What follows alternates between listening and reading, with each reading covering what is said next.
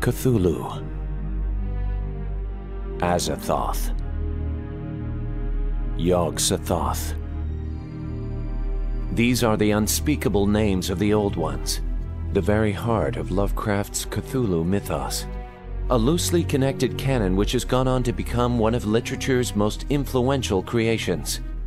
I don't know that Lovecraft ever sat down initially and went, I'm going to grow a grand mythos. I think that, yes, it begins and then everything else sort of fits in. It's a very complex uh, sort of inbreeding of mythologies, and what essentially what what the pitch would be that things much older than mankind, things much older than Earth, are gazing upon us with indifference and cruelty. Those old ones were gone now, hidden in distant wastes and dark places all over the world, until the time when the great priest Cthulhu, from his dark house in the mighty city of R'lyeh under the waters, should rise and bring the earth again beneath his sway.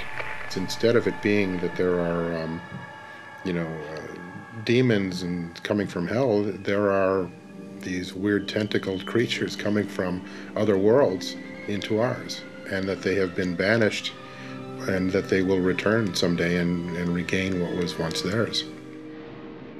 The old ones are the universe. The old ones are the cosmos. They're that force beyond us that we're incapable of controlling, and they're that force. They're the they're the universe that is vaster than we can ever comprehend. Prior to Lovecraft, if you read horror, if you read ghost stories, you always have a vision of a world which is fundamentally hospitable.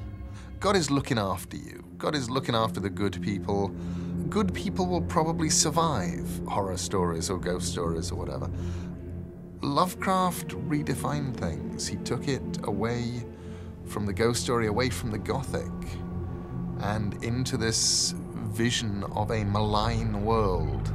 This place surrounded by evil, mad, horrible, monstrous things always trying to get in who frankly don't really care about us.